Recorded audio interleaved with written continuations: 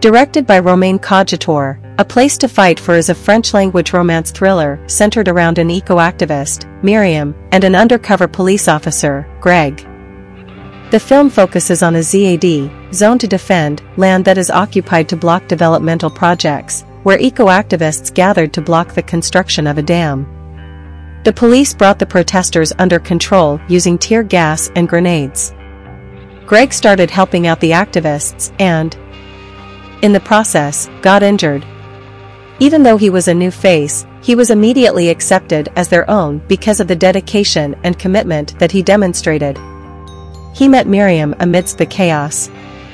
She helped him dress his wound and introduced him to the other protesters. Greg had successfully infiltrated the collective. Miriam could sense the undeniable spark between her and Greg.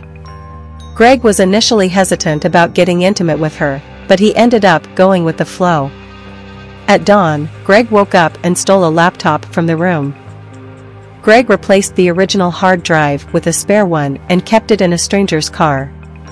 The next morning, when the members of the collective realized that the laptop was missing, they doubted Greg. But soon they found the laptop in a red car and accused the owner of theft. That morning, the police destroyed the houses that the collective had built to curb the protest. They watched the house that they lived in the previous night crumble. Even though the police crushed the houses, they could not crush the spirit of the protesters. Soon, a protester was informed that the new environmental impact study had been accepted by the court, and for 18 months, no one could start any work on the land. While the protesters celebrated, Greg knew it was time for him to leave. He had a special connection with Miriam. But he was also aware of the consequences he would face if he got emotionally attached to her. Greg handed the hard drive to his supervisor, Severine. She was impressed with how quick he was with his undercover tasks. Even though Greg wanted to be assigned to another project, Severine informed him that the minister wanted to keep an eye on Busset ZAD and that he was best suited for the job. While Greg had spent some time with the collective, his opinions had not changed. He believed that a power plant was necessary for the people and that a decision that was made democratically must be respected. His beliefs did not align with Miriam's, but when it came to identifying the activists present there, he chose not to disclose her name. After 18 months, Greg was asked to return to Busset ZAD to find two Germans who had been involved in high-speed train sabotaging. According to the collected information, they were hiding among the activists. Greg returned to the zone and was surprised to find a baby living with the group. He also met his German targets, and he had to find a way to enter their room. But before focusing on his assignment, he had to come up with a way to silence the baby. Suzanne was the only person Greg knew in the house, and she asked him to look after the boy. The baby enjoyed watching Greg make a duplicate copy of the target's room key with a used can. Miriam returned home that night and found Greg with little Theo. She gradually revealed that Greg was Theo's father. After finding out that she was pregnant, Miriam tried to contact him. But she could not find him anywhere. Greg was completely shocked by the turn of events and left the room. He knew that Theo would make it difficult for him to leave, and he tried to find a way to hand over the job to someone else. Severine was not ready to listen to his excuses. And he was asked to leave a gun in the German's room to frame them. Greg left the gun in the room as instructed, but something happened in between that changed Greg's mind. He found out that Theo was not registered as a French citizen. And he was worried that when the police entered the house to arrest the Germans along with the activists living with them, Theo would not have a place to go. His job would also be at risk if his secret ever came out. He decided to abort the plan and instead promised Severine that he would come up with a better plan to catch the Germans red-handed. He instigated the activists to destroy the bulldozers parked in the industrial area. The plan was to pour sugar into the tank so that once it caramelized, it would ruin the bulldozers. It was a protest to make it clear to the oppressors that they would destroy the tools that were used to silence them. Greg's plan was working, but it backfired when Miriam decided to join as well. His plan was for the police to arrest the activists and Germans once they were in the industrial area, but he was afraid of any harm befalling Miriam and Theo. Greg started to question the decisions taken by the government against individuals who were simply planning to pour sugar into tanks. He wondered how they were a threat to democracy when their actions could not be classified as violent. Severine explained that the decision was not based on the action but rather on maintaining the image of France globally. She advised Greg to work on the sabotage plan while she handled the paperwork for Theo. When Miriam noticed strangers on bikes in ZAD, she decided to warn her friends about a possible police attack. Greg was not ready to risk Miriam's life, he requested the group abandon the plan. The activists were not ready to leave without getting the work done. Greg was a little relieved when he could not spot any policemen on their way back. But suddenly, there were floodlights all around, and the activists were attacked by the police. Greg risked himself to protect Miriam. And he was arrested with the rest of the group. The policeman on the scene did not know that Greg was an undercover officer, and he was released the next day. Since his task was complete, he had to leave, but he was afraid that he would be considered a traitor if he suddenly disappeared. He needed to be arrested to make it look genuine, and he asked Severine for help. A place to fight for ending explained, why did Greg fake his own death? Greg had grown attached to Miriam and Theo. What started out as another undercover task turned his life upside down. He was in love. And he cherished the time he could spend with his son. If it were up to him, he would have spent his entire life with them, but the situation he was in made it impossible. Miriam did not know who he was, and the truth would only hurt Miriam. There was no other option but to move away from them, and the decision was extremely painful. Greg informed Miriam that he had been called back to the police station. But before leaving, he decided to take a leap of faith and asked Miriam if she and Theo would travel abroad just to be with him. Abandoning the cause was not something Miriam had in mind, and she believed that Greg would be released from prison soon. Greg left with Theo and drove to the city to discuss his situation with his mother. She advised him to return Theo to Miriam, and he realized he had made a mistake. He contacted Severine and asked her to send men to arrest him to prove to Miriam that he was not lying.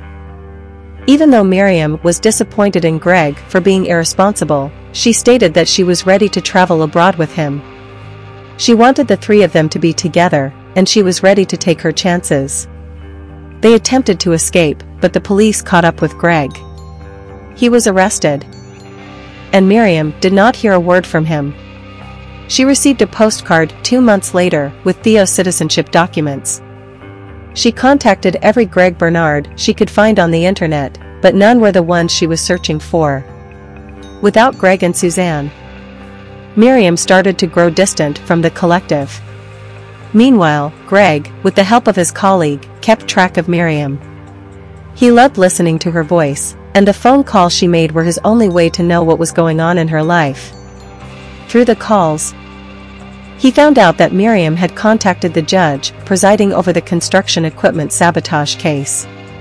She admitted that she, too, was involved in the plan and wanted access to his file. Greg immediately contacted Miriam and asked her not to get involved in the case. Miriam was confused and emotional, she desperately wanted to help Greg. Ultimately, Greg decided to confess the truth. Everything that Miriam was trying to protect started to fall apart. She trusted Greg, and when he turned out to be a cop, the family she dreamed of suddenly became impossible to imagine. She had dedicated her life to the collective and the movement, yet their sacrifices went unnoticed. She realized that their anger was wasted. And everything that they tried to build with love and sweat could so easily be reduced to dust. She started to question every decision she made, and in that moment of confusion and frustration, she came across the beanie that Theo's grandma had gifted him. She realized that the man she loved was not Greg Bernard, but Gregoire Maniel, and that he was. Miriam wanted the world to know about how the government illegally infiltrated a collective to gather information against them. Greg contacted Miriam and requested that she not disclose the truth to protect herself and Theo. Miriam was ready to step down if only Greg agreed to tell the entire truth to the whole world. Greg was initially hesitant, but he decided to take the risk. He believed that he could start over again if he contacted the journalist interested in covering the truth. As it turns out, Greg confessed the truth to the world, and as a result, the trial for the construction equipment sabotage case was cancelled. We can also assume that the construction project would also take a back seat considering the unlawful means the police used to fight the protesters. Meanwhile, Greg seemed to have committed suicide after confessing the truth, knowing the consequences he would have to face otherwise. He once discussed how a colleague who was in a similar situation had disclosed his relationship to the headquarters, and he disappeared soon after. The door of his car was left open, and there was no trace of him. Greg's scene was just the same, his car door was left open, and he was gone. Was it a disappearance or a death? A place to fight for fast forwards to three years later, Miriam had moved abroad with Theo and taught at a local school. It is also soon revealed that Gregoire Méniel neither disappeared nor died. From the moment he decided to contact the journalist, he knew that he would have to start his life all over again. By setting the disappearance scene similar to his colleagues, he seemed to have convinced everyone else that he was killed by the government. Meanwhile, he used his contacts to find a way out of the country. Since he was an undercover officer, he did not have any trouble blending in. In the end, it is up to Miriam to decide if she wants to trust the man who once betrayed her or continue living her life with Theo since Gregoire confessed the truth and lived up to his promise. We can assume that Miriam will forgive him and that he will get another chance to make things right. A place to fight for ends on a positive note, with the lovers reuniting after going through harsh situations. Miriam also teaches the future generation about the importance of keeping Mother Nature alive and the damage that developmental projects can bring to the world. Miriam found a rhythm to her life, and hopefully, her dream of living with the man she loved will finally get fulfilled. A Place to Fight For is inspired by true events. In 2011, there was a raging scandal about cops infiltrating green protest groups. There were accusations that the infiltrators attempted to disturb peaceful protests. Not only that, they were found to be the ones planning and paying to execute disruptive ideas. Undercover cops even had children with the activists, and once their missions were terminated, they disappeared. One is left to wonder how conflicted the infiltrators must have always felt.